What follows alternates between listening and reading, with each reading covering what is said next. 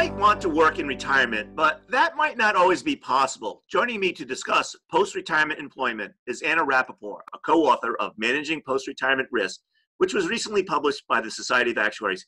Anna, let's start with you giving us a brief description of this risk and then how to manage it. Thank you, Bob. Uh, post retirement employment is often not recognized as a part of retirement planning, but what it is, is the plan to after you retire from that full time job, work on a reduced basis, maybe part time, maybe as a contractor, to probably earn some money and also to continue to stay engaged. It can be important both for the money and also the engagement and keeping you alive. Some people want to do this also because of benefits, and some people may work that reduced schedule before they fully retire or after retirement. So there are a lot of different options for how to do it. So, what are some of the ways we can manage this? Uh, first of all, I would say that you need to, if you want to do it, you need to be careful to lay the groundwork. Society of Actuaries research shows that more people want to do this, say they want to do it before they retire, than actually manage to do it. The choices include staying in your own field or looking for something new it's important to be realistic and with regardless you probably need some skills. And if you're staying in your own field that means staying up to date keeping up your continuing ed. You may need a certain amount of technology. Also depending on what you're doing your contacts may be important. So keeping your skills and contacts up to date being realistic are three really important things.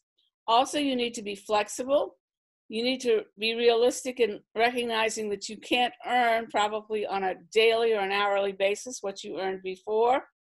Uh, job availability can be a challenge. I'd say your first thing is to see is there an option with my former employer?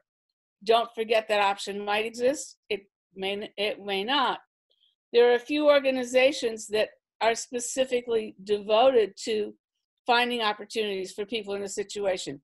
For example, retirementjobs.com, Assured Caregivers, Your Encore, Encore. Those are just some of more. Self employment is also an option, but don't spend the assets you need for retirement to set up a business. So be careful about that. There are many opportunities for gig employment, though, and self employment. So be flexible and realistic, and you can make it work. Many companies may be reluctant to hire regular employees that are full time and that they have a commitment to. And working with retirees, either as part timers or contractors, gives them a way to get the work done where there's no commitment beyond the current project.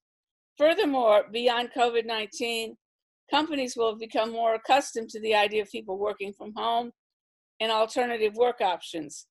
So there are some factors that point to it being a lot more difficult, but some that maybe it'll be easier. And remember, keep those skills up to date, keep your contacts, and be flexible. All right. Thanks, Anna, ever so much for describing this risk and how to manage it.